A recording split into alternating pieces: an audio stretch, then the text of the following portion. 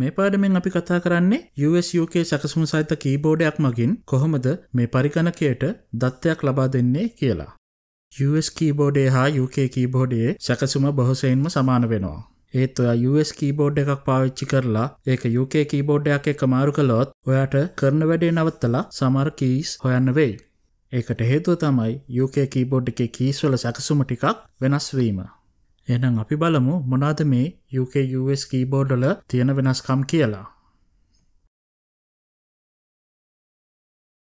ඔට දකින්න පුළුවන් පළමු වෙනස තමයි එන්ට කී එක. මේ එන්ට කී එක US කීබෝඩ් එක නම් තනි පේලියක තියෙන්නේ. එහෙත් UK කීබෝඩ් එකේ මේක දිග අඩු කරලා පේලි දෙකක උසට හදලා තියෙනවා. අපි ඊළඟට දකින්න ලොකුම වෙනස තමයි ඇට් සලකුණ සහ කොටේෂන් ලකුණ ඒ ඇන උද්ෘත ලකුණ එකනෙකට මාරු කරලා ස්ථානගත කිරීම. මේ UK කීබෝඩ් එකේ තියෙන තවත් වෙනස්කමක් තමයි තුනයි ලක්කම ස්ථානය තිබූ හැෂ් කී එක බ්‍රිතාන්‍ය මුදල් ලේඛකය වන පවුන් සලකුණු සමක මාරු කිරීම. ඒ වගේම අවතන් වෙන හැෂ් ලකුණ එන්ට කී එකේ දිග අඩු කරලා තනින් ස්ථානගත කරලා තියෙනවා. ඒ වගේම ටිල්ඩ කී එක හා හැෂ් කී එක එකම කී එකේ දෙකට බෙදා ස්ථානගත කිරීමත් විශේෂයි.